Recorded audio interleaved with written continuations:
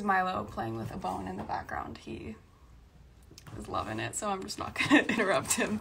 Um, but yeah, it's reading the book was just so eye opening for me, and I think you know, as a young woman, you think you're in control a lot of the time, and realizing what consent is and when you can give consent, and as a minor, that is not something that you can give to an adult, and um, it's just very.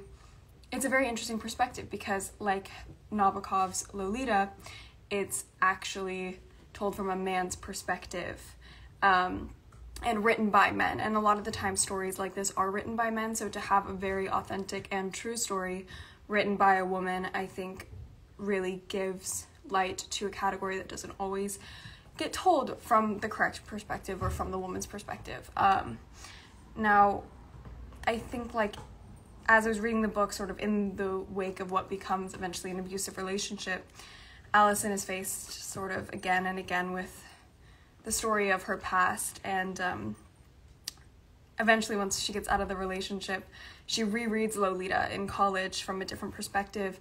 And it kind of leads her to working with teenage girls